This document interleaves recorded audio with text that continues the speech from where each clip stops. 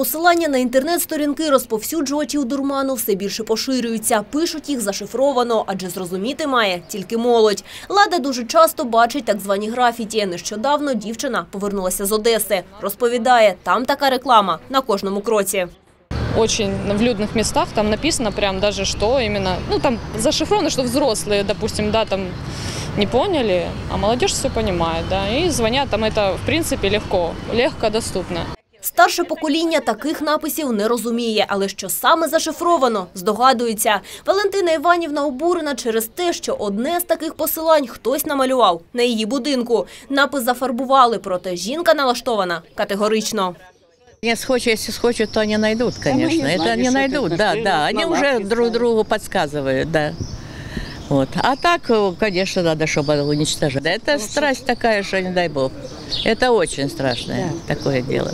На боротьбу з інтернет-дилерами вийшли й активісти. Надія Самойленко стверджує, за один такий напис школярам платять 20 гривень. Волонтери пропонують цю інформацію зафарбовувати.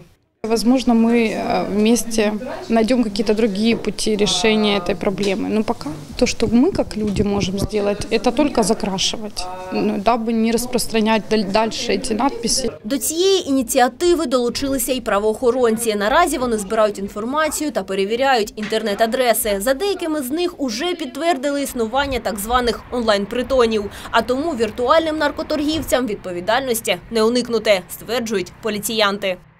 Забирають той наркотик до лабораторії, робиться аналіз, вимірюється його вага, і вже в залежності то буде або адміністративна відповідальність, якщо це просто у людини з собою є.